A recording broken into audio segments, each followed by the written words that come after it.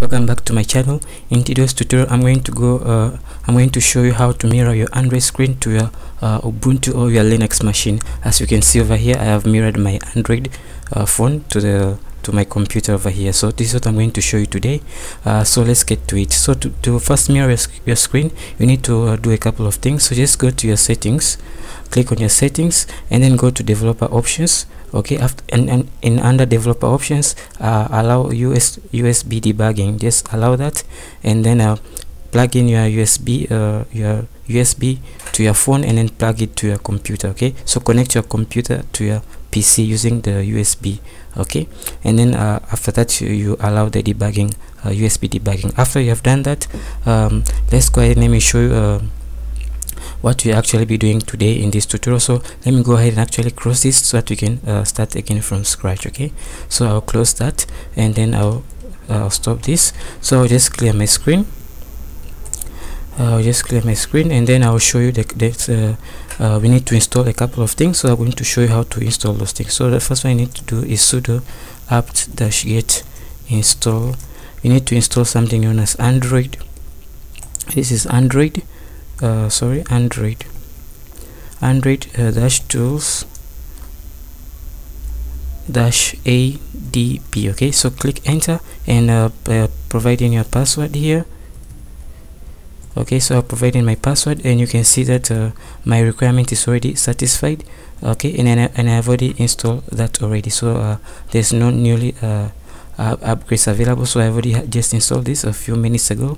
So I have that installed on my PC now that you have installed that installed on your PC let's go ahead and actually install uh, one more last thing that we need. So we need to say sudo apt get install and then uh, this is ff uh, mpeg okay? Ffmpeg so run this. This will actually go ahead and actually install for you this. I've actually also installed this already. So my requirements already satisfied and there's no latest uh, uh, update.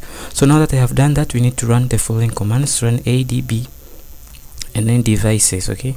So this will show you all the devices that are actually connected to your, your pc uh, so uh, if in case you didn't uh, if if you uh, you you connected this for the first time right? Uh, this place should be written unauthorized. If you see that uh, just go to your back to your phone and then uh, uh do you see a message uh, uh, asking you that if you want to connect to this PC you simply press OK okay? So if you see this section is written unauthorized just go back to your phone and you see a section written do you want to connect to this PC you see a certain of instructions there just press OK. So this will allow you to connect to your your PC uh, you connect your phone to your PC so now that you have done that you can see uh, and then if you, after you have done that run again this command and you see that uh, uh, unauthorized will change to be device means that your device is connected. Now that you have done that we need to run this command so that uh, we can connect our phone to our PC so you need to say sorry uh, you need to say adb and then shell uh, screen screen uh, record screen record and then uh, dash dash output hyphen two hyphens output and then hyphen and then format and then uh, equal no space equal and then type in as it is h264 okay this is just the code. And then uh, a space hyphen space a pipe symbol and then ff play. Okay so this and then hyphen okay. So after typing this command and then hit enter. So let me just cover the adb uh, shell screenshot space two hyphens output a hyphen format and then equal to h2 uh, 64 okay no no space over there. And then space and then hyphen and then space and then pipe symbol. And then let me just uh, extend this so that you can see the whole code.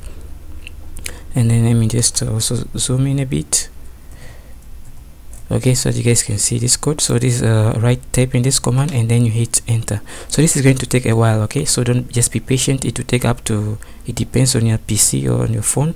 It takes up to about uh, uh, 5 to 10 minutes. So just be patient. Uh, whenever uh, this uh, is done i'll i'll I'll speed forward the video and then I will show you guys if my phone is connected to it. So guys, I am back uh, you can see right now my phone has now been uh, successfully connected to the PC uh, down here you can see uh, I have uh, uh, my phone over here and I'm actually controlling this from my my phone okay? So guys this is how you can connect your your Android Android phone to your Linux machine okay? So thanks for watching. If you find it helpful please don't forget to like to share and to subscribe to my channel. In case you want to close this you just close this window and then control c okay? That will close that for you okay? So guys uh, thanks for watching.